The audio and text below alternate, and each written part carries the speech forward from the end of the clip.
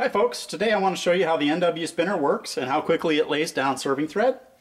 Uh, we're going to start with the Emerald Bobbin, which is also available on nwspinner.com. Uh, the Emerald Bobbin is tied into the string already and I'm going to lay down a serving uh, on this string of about 10 inches long. So you can see between this red tab and the bobbin we're looking at 10 inches. So to start the process, we'll take the NW spinner and you slide it on the string and then the bobbin slides into the spinner and you hold it in place with a bungee cord. and I'm going to be using a standard 1400 RPM drill. They run about $30. and all you do is press the, uh, the rubber winding wheel that comes with a spinner against the edge and spin the uh, spinner and this will uh, put the thread down on the, on the string in short order.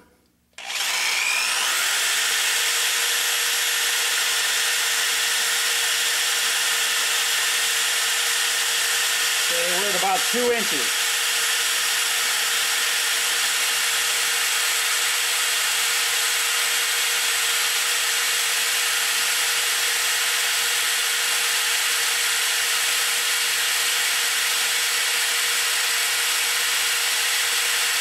Past halfway.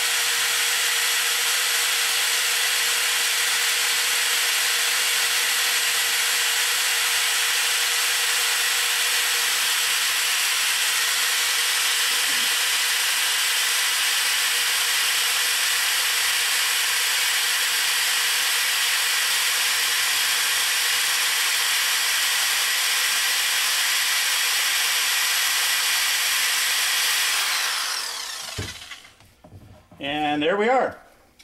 You can just see the red tab through the uh, through the edge there, and uh, we're at 10 inches.